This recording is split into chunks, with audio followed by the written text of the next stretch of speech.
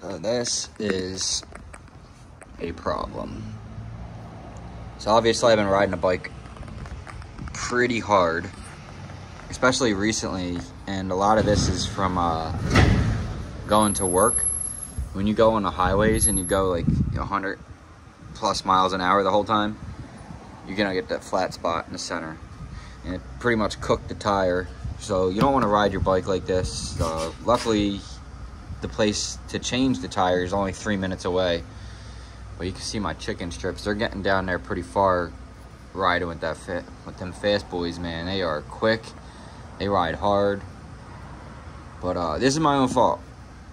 This is my own fault. The, the way you avoid this and what I should do and what I recommend for you guys to do uh, when you get your bikes, when it's a new bike, used bike, whatever, uh, when you get it, you should order a spare set of tires probably after your first oil change.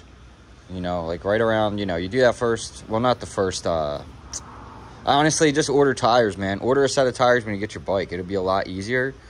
And when you get past like i'd say like about 2000 miles schedule an appointment with someone have a place picked out so you don't run into what i'm running into now is whereas like i'm struggling to find someone who could do my damn tires today like right now luckily i did find someone but you don't want to have to like do that i should have already had that already planned out. I should have already had the tires, you know, picked out. I'm actually thinking, and why I'm to make this video is because I'm uh, to put this out there right now. This this bike takes a 180 60 R17. I'm actually really thinking about bumping it to a 190.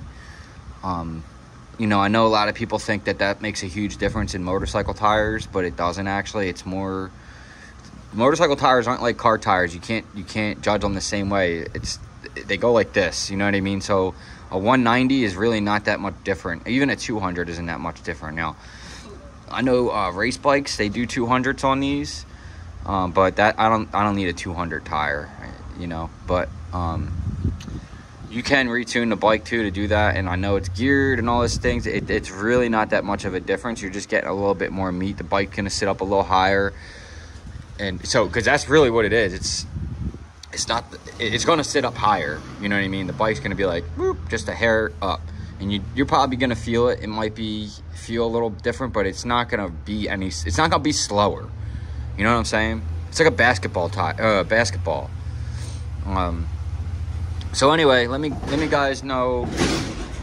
why does every time i come out here with my phone like a tow truck or like the loudest U-Haul truck with no exhaust come by here and like just sit like right here. Every time, it never fails. But um, anyway, let me guys let me know what you guys think about a 190. If you guys have ever put a 190 on your Panigale, did you feel a big difference? Do you just keep the 180s on there? I mean, I it really.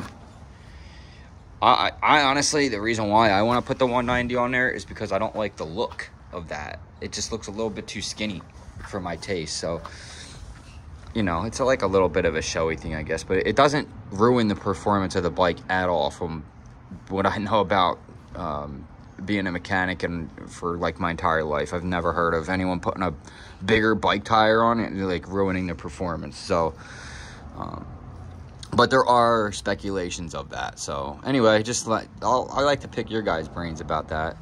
But yeah, the tires on this bad boy are cooked. You definitely don't want to ride your bike like that. If your if your tires are that bad, what's gonna happen with that? If you take that thing up high in the RPMs, where it's spinning so freaking fast and getting so hot, um, that's gonna rip apart and you're gonna crash, and that's not gonna be fun. Because um, if you're doing plus 100 miles an hour, you're gonna get really really hurt and maybe even uh, die. So don't ride your bike if your tires are, are that bad. I know there's tread on it and you're like, well, it's got tread.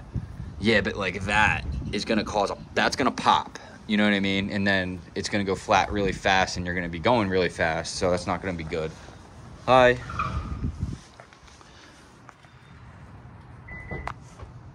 Oh man, so yeah, I can't pretty much can't ride the bike. Um, I'm just gonna take it up down the street, maybe pick up some tires, to see what they have. I do want to put the 190 on the back. I think I'm to do it.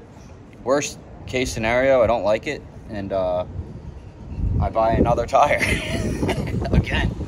But um, no, I do want to try it. I think for aesthetically, it's just to look better. Um, you know, my I don't think it's going to drop the performance of the bike at all. Let me like, like the whole reason why, again, like I said, I want to pick your guys' brains about it because you guys ride too. Some of you. I talked to my buddy Chris about it. He said don't do it, but uh, you know, more opinions, more thoughts about it. I really want to do it just to see. I don't. I really. I've seen Jarrett Campese do it on the V2. They put a bigger tire on that. I've seen Ashley do it over in uh, the UK. He actually put V4 tires on his. Um, he well, he put V4 rims on it too. He bought a whole set of V4S rims and put them on his Ducati V2. So, you know, guys do it or whatever. It doesn't. It doesn't affect the bike at all. So, at least that's what I am told about it. But anyways, definitely don't ride your bikes like that. Pick up yourself some tires before you have to deal with it. You know what I mean? Like get your tires, get your place picked out, get it scheduled in a reasonable time, and then you don't have to worry about like what I have to worry about now. So the bike is pretty much down. And I can ride it like it, as as far as I'll take it right now. The tire as it is is about three minutes. like if you take this thing up and high in the RPMs doing 100, that thing's gonna blow, or has a chance to. Um, yeah, so I would, I definitely, it's just too dangerous. It ain't worth your life. Like my buddy's like, I was like, I want to ride, man. He's like, dude, I'm not riding with you. And yeah, I, I, wouldn't do that anyway. I'm a little bit too smart with that for that. But there are people who are like, will ride like that, and like, I'm with uh, my buddy Chris on that. Like, don't if you're if you're putting yourself at risk with like bad tires or like your bike's not stable or you don't have gear or whatever, we're just not gonna ride with you, man. We're not gonna roll with people like that. So. Um, I, I'm, I'm in agreement with uh, most hardcore bikers in the super bike world and that in that sense. So, in any case, man, use your head, guys. Use your head. If you have metal tread showing, it's not like a car. It's all you got. You know what I mean? So don't don't think it's like a car. You can't compare these to cars or anything or how they ride or any of that stuff. It's just a totally different thing. So, anyway, guys, I'll see you in the next one. Make sure you shop at Raven Moto. Um, you guys been killing it over there and getting getting orders and stuff. So gloves and gear. Uh, the giveaway winner has been chosen. He's going to get his stuff in a few weeks. But uh, yeah, I'll see you guys later. Peace. Also want to give a quick shout out to our new patron members, Paul Jasarius and Brent Tren 10,000, I believe it is. Uh, the patron support is what keeps this channel rolling with the affiliates. It's not Google AdSense anymore. Just Google AdSense is pretty much non-existent. So uh, it's definitely the patron members. So I really appreciate you guys uh, for that. So the patron link will be below if you want to become a member. There's going to be a lot of exclusive content on there that I won't put on YouTube once we get that to a stable level. Uh, and also the bigger giveaways, like helmet giveaways, eventually motorcycle giveaways. And uh, also that's how you guys are going to be best interacting with me. I'm trying to be a lot more active on Patreon now that there's there's not a, a, huge amount of people there, but there's starting to be enough to where I got to start focusing on that a little more.